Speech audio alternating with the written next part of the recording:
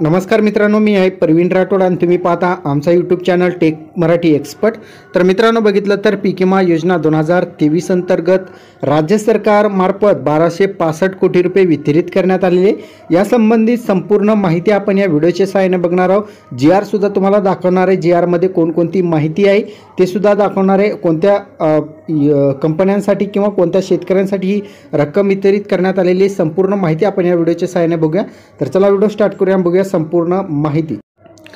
तर मित्रांनो बघितलं तर सर्व समावेशक पीक विमा योजना खरीप हंगाम दोन हजार तेवीस अंतर्गत पीक विमा हप्त्यापोटी अग्रिम राज्य हिस्सा अनुदान अंमलबजावणी करणाऱ्या पीक विमा कंपन्याला अदा करण्यासाठी रक्कम जी बघितलं तर बाराशे पासष्ट कोटी चौऱ्याहत्तर लाख अठ्ठ्याहत्तर हजार चारशे अठ्ठ्याहत्तर एवढी जी रक्कम आहे जी विमा कंपनी आहे त्यांना वितरित करण्यात आलेली प कृषी पशुसंवर्धन दुग्ध व्यवसाय विकास यांच्यामार्फतचा वीस जुलै दोन हजार तेवीस रोजीचा हा जी आर आहे या अंतर्गत राज्यातील सर्वसमावेशक पीक विमा योजना राबवण्यास मंजुरी देण्यात आलेली होती. या अंतर्गत जे आहे राज्यातील शेतकऱ्यांना फक्त एक रुपयामध्ये पीक विमा मिळणार आहे. राज्य सरकारच्या मार्फत आणि स- उर्वरित जे राज्य सरकार सर्व शेतकऱ्यांचा हिस्सा असेल किंवा राज्य सरकारचा जो हिस्सा होता अशा एकूण हिश्श्यांच्या सर्व रक्कम जी आता राज्य सरकार भरणार आहे आणि यासाठी पहिल्या हप्त्याच्या अग्रिम रक्कम जे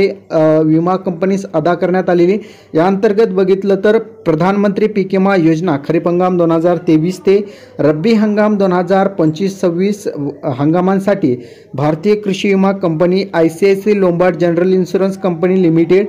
H D F C Ergo general insurance company limited oriental insurance company limited united India general insurance company limited universal Sompo general insurance company limited त्याचबरोबर Cholamandal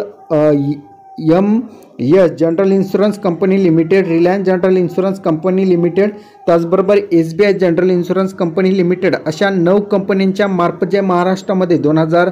तेवीस ते रब्बी हंगाम दोन हजार पंचवीस सव्वीसपर्यंत जे आहेत पीक विमा राबवले जात आहे. आणि या अंतर्गत बघितलं तर प्रधानमंत्री पीक विमा योजना क- राबवण्यासाठी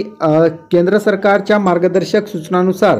त्याचबरोबर राज्य सरकारच्या मार्गदर्शक जे विमा कंपनी असेल क- त्याचा कामवाटा मागील हंगामातील विमा हप्त्यांच्या पन्नास टक्के अग्रिम रक्कम जे हा अनुदान खात्यामार्फत जे अदा करण्याबाबत सूचना